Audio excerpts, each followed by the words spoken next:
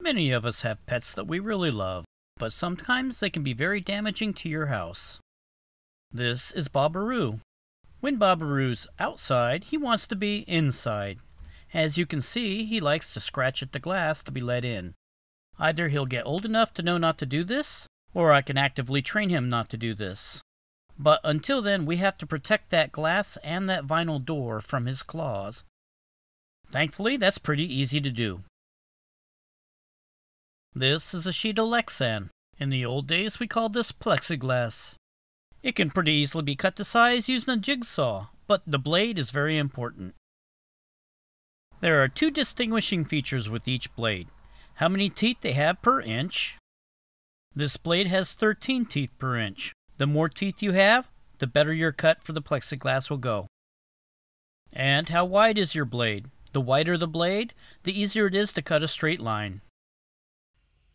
Anytime I cut this stuff, I always start the cut on one end and go part way in. Then I finish the cut from the other side. This keeps you from chipping out the edge of the plastic. I'm sorry, plexiglass or Lexan, not plastic.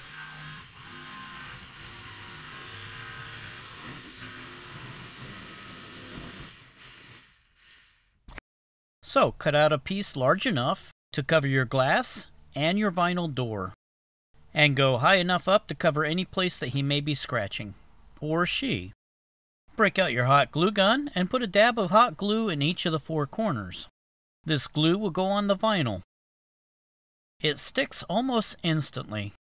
And don't worry, when you're putting it on vinyl, it's pretty much a temporary attachment. You can take it off later.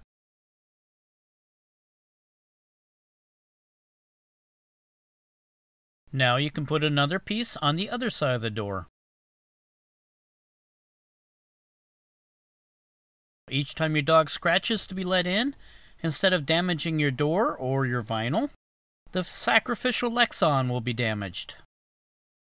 Let's take a look at how easy this is to remove. Take a chisel and a very small hammer, a small gentle tap, and it pops right off. Usually just tap off the two top ones and the two bottom ones will fall right off. Then you can use that same chisel to scrape off any residual glue that's left on the vinyl. It won't damage it. Assuming you have a good chisel.